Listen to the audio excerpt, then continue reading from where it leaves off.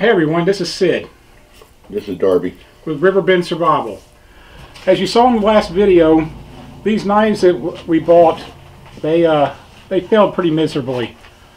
Um, I'm, I'm extremely disappointed in them. Now we did call a bushcrafting knife, and I went back and I looked. The listing on Amazon called it a bushcrafting knife, but they actually call it. I, I put it on the last video. They call it a hunter. Um, so some of the fault is is not theirs because it was not made as a bushcrafting knife. It's labeled as a hunting knife. Uh, but today we got how many different things do we have to do to it? We're going to redo the edge. We're going to sand the back here, make it smooth. We're going to fix the handles that are rough. We're going to put good 90 degrees on the back of the spine. Oh, and we're going to try to put holes in them yeah, we're going to try for, to put for a- lanyard holes lanyard because hole. these things really want to slip and slide in your hand. And it's ironic that we're doing that because Sid brought over a knife today that he wanted me he wants me to fix the sheath for. and if we can't if we can't get this thing not to to be as slick or as dangerous, I think we're going to do what is on this knife where that checkerboarding was burned into it into that handle Yeah, because that gives that gives a pretty good grip. We won't do that today. We're going to try it out. Hopefully, we can get the the lanyard holes put in them I would- without without having the knives come apart. But um, anyway, we're going to readjust camera. We got a different couple different camera angles for these things, and we'll hop back and forth as we're doing the projects. And um, hopefully, if you have a problem with a knife, and one of these things will be the solution to fix it. We'll get right back with you.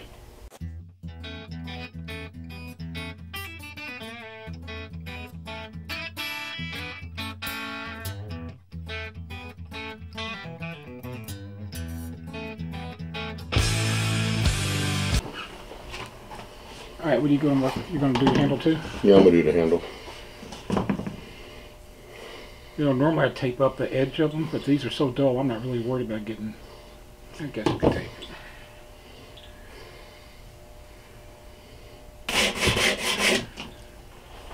Boy, some spots are really bad on mine. Mine smooths up pretty good. You might want to try that green paper. Seems like it cut right through it pretty fast. Well, mine's cutting through, but it was right here. Right up here, there was just a big piece sticking up on that inside right there. But see, the thing about it is, like when I do this, Mhm. if my finger goes up here, on the part where the finish is still on it, it's rough. Is yours the same way? Yeah, a little bit. A little bit, Not not as bad as mine. I mean, feel that.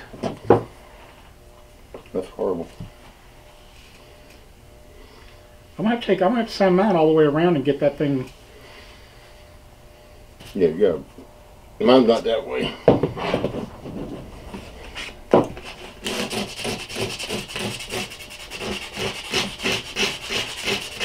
Now, no matter what they call this knife, this this hunter or bushcraft, whatever, there's no excuse for this kind of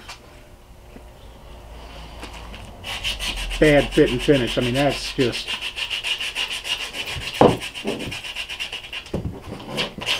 When we did that other video that, that we Mine's not near as bad as yours. no.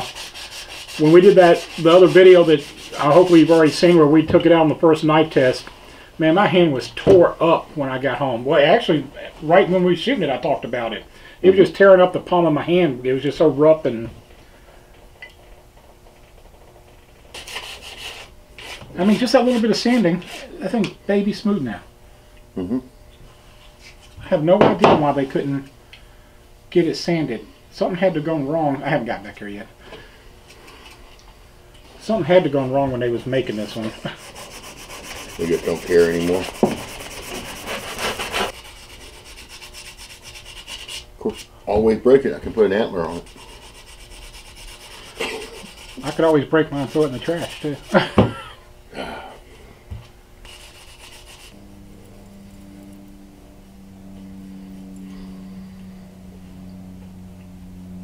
you doing the uh, spit test? Mm-hmm. What is? How does that work? If the spit sticks, it's too rough. What? What is?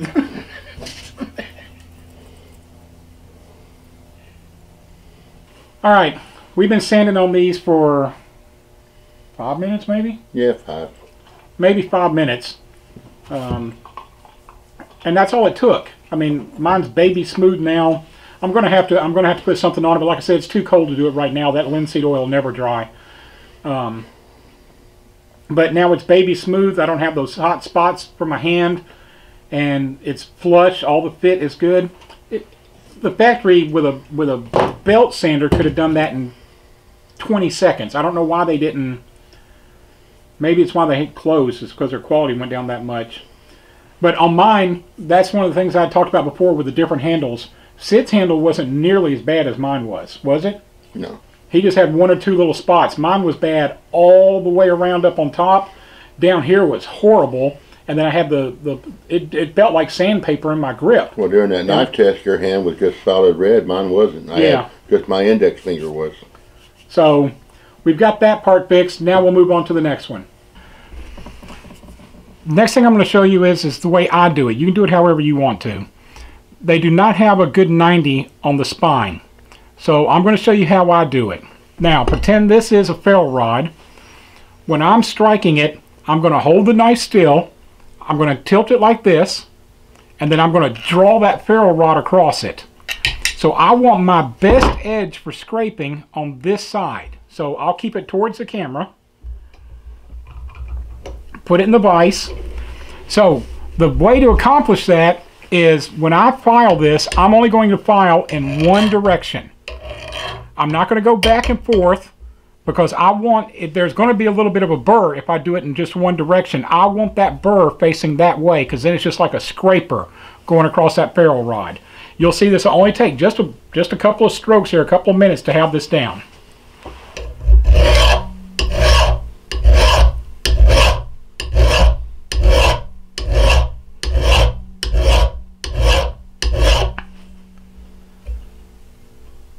See, I'm already getting a burr right there. You can hear my fingernail clicking on it. See, now I've got, you can, you can hear it. Hear it clicking on that burr, but I've got a good 90 degree edge on both sides now.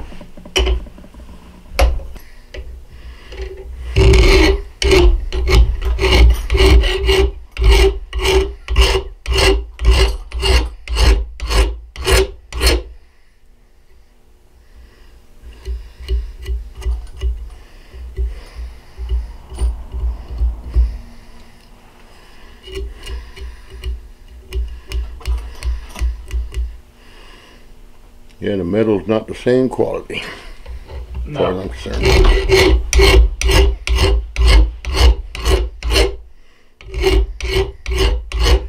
I'm real glad we still have our old hickories.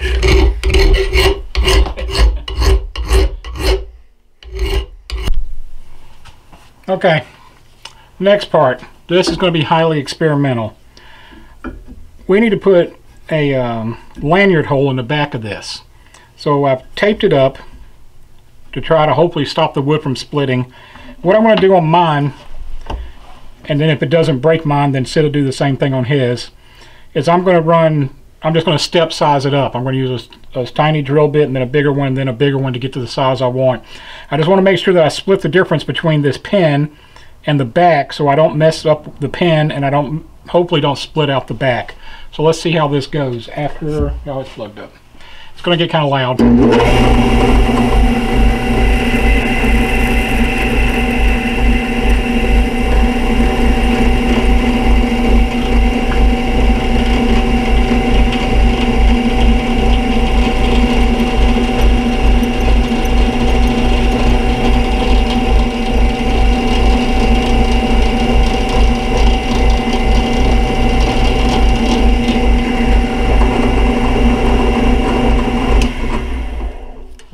Through that like butter.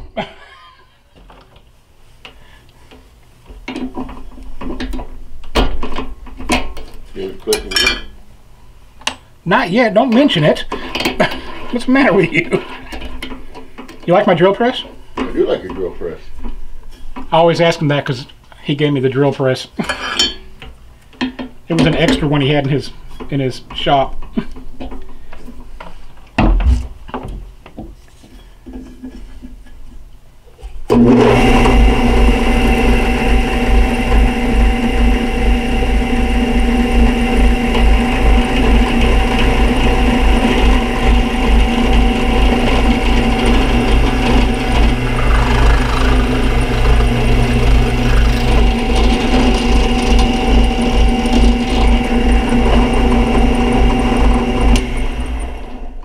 So far, so good. Two down. How big of a hole are you making? That size. Oh, cool. You know, you know me with my drill bits. They're all just poured into a drawer over there, and I just dig out the one and go, "Well, that looks about right."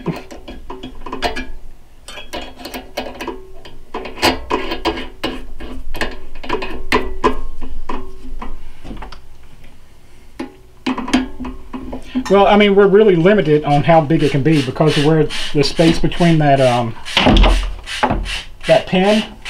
Yep. So we can't really go as big as I would normally like to, but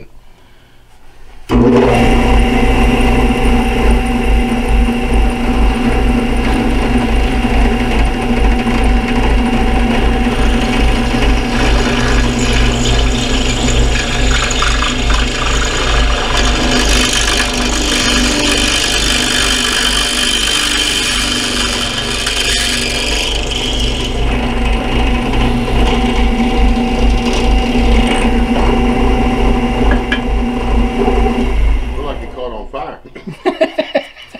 that's that, that burnished look that you want. Yeah. These are actually my absolute favorite work pants. These are Ridge Ridgeware or whatever from Yeah. Tractor Supply. I love them. That's what this is. This is Ridgeware.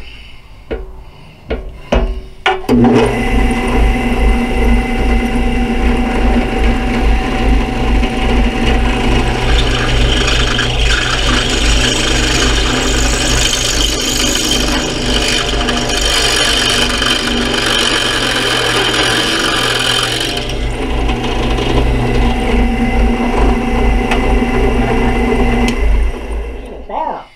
Yeah, burn it up. Hole through that thing one way or the other.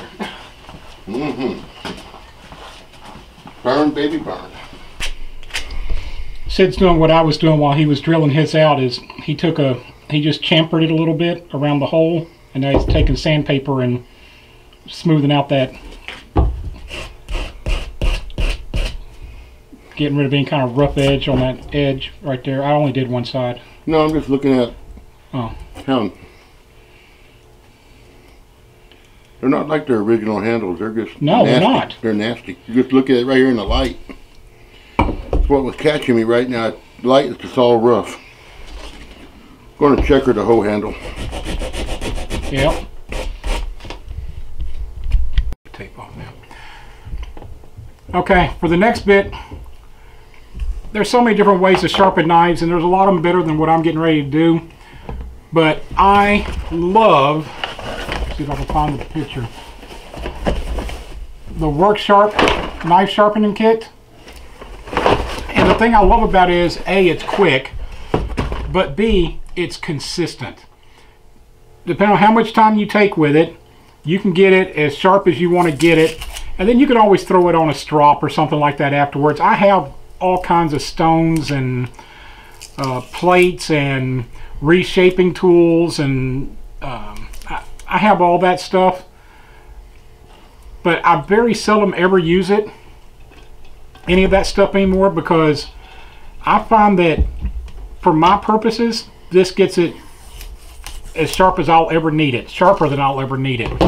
And the funny thing is, if you go to, I don't know about the rest of the country, but if you go to Bass Pro Shop here and go to their knife sharpening section or to the local hardware store now, to where they sell knives, and you say they, they charge you two dollars whatever sharpen a knife, sharpen a knife, they're using this.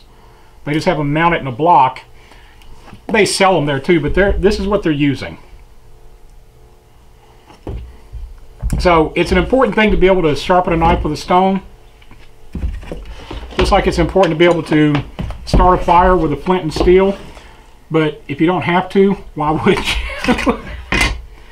so the best thing about these is, first of all, the, the belts are super easy to change. And because I know how bad these are, I'm going to start with the with the roughest one first.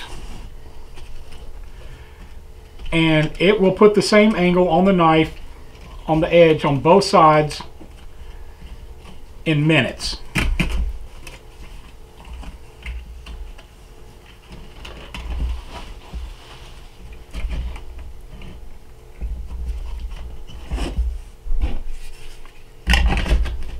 All you do is you, you put your all you do is you put your sandpaper on, it's just a push down button, and then put your guide on it and just follow the guide and do different people say different things. I, I, I do three to five one side and three to five the other. But what's nice about it is is it does not put like a V'd edge on it. It put it puts a Scandi on it because let me pull this back off. You can see it's got some play in it. So it's wrapping when you're in there. It's you're you're getting a little bit of a wrap, so it's going to give you that nice uh, convex curve to it.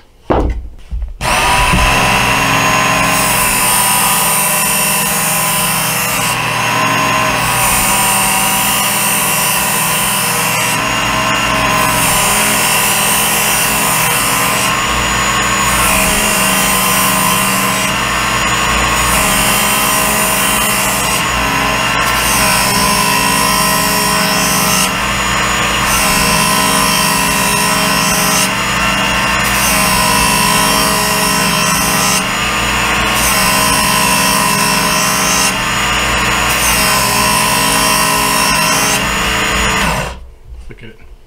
Mhm. That's already Yeah. I can see it just in the light. Yes, I mean it, it's such a consistent. I mean, when you look at it, when you look at it in the light, it is just such a consistent way all the way around, and that's that's all I need for that that heavy grit.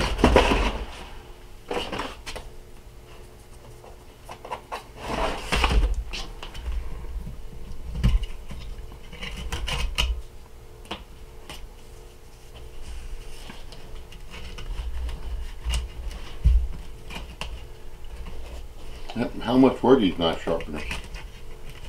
I don't know. Uh, I got it as a Christmas present. Oh, okay.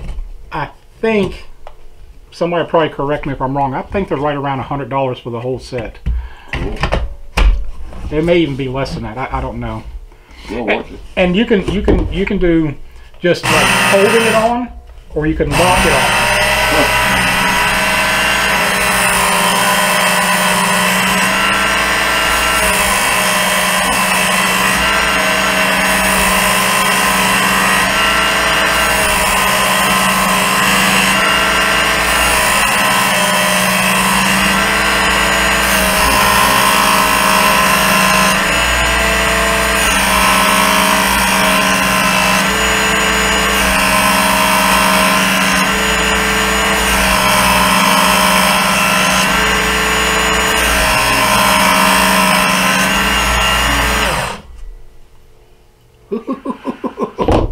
More sharp than you want. And we're not even there yet.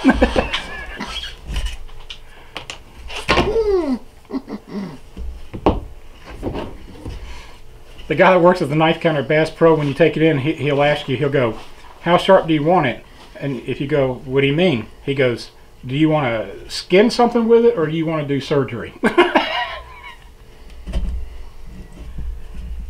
And I'm always like, I want to skin something because I don't want that super fine edge because, you know, especially on a steel like this, it'll want to roll and it'll, it'll get dull and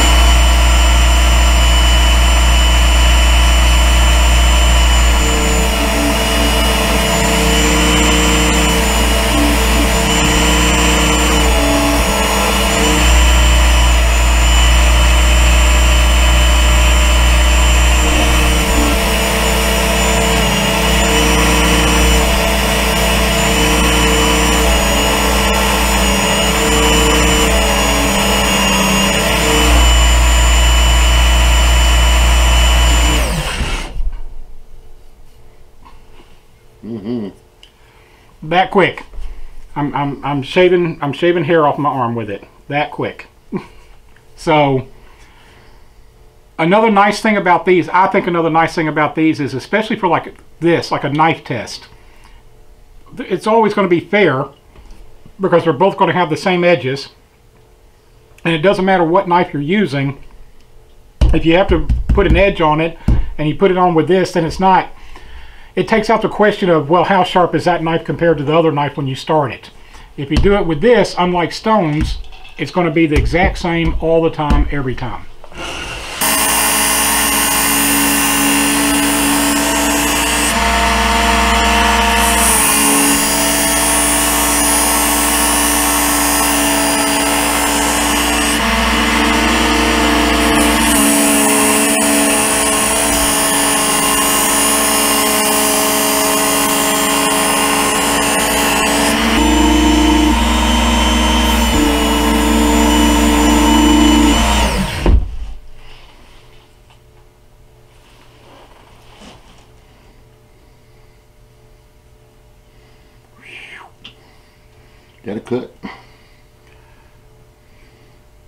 Right, let me get this put away and then we'll we'll close, we'll wrap this video up. Okay, so we've taken knives that failed the very first field test miserably. We found out what we didn't like about them. And in under 45 minutes a day, and it would have been a lot quicker except, you know, I would do it and then Sid would do it. And then Sid would do the next thing and I would do it. So, you know, it, it's twice as long. Um, but in 45 minutes, what would be happen for you? 20, 20, let's call it 20 minutes. Yeah. In 20 minutes per knife, put a new razor sharp edge on it, put the 90 degree on the back of the spine, sand it, and fix the fit and finish of the scales, and put in lanyard holes. And we chamfered those and sanded them. Um, we'll need to, especially on my, well, both of them, we'll need to linseed oil the handles because there's no protectant on it right now. But we took, in 20 minutes per knife, everything that we found so far wrong with these knives is now been corrected. So we'll make us our own lanyards to go on them. And then, I don't know if we'll do it this week or next week. We'll go back up to the exact same spot on the land because I bet that wood's still laying there. Yep. We'll grab up the same wood that we did last week and we'll run those same tests with it again and we'll see if these knives make the cut this time. No pun intended. So until next time, get out in the dirt. And have some fun.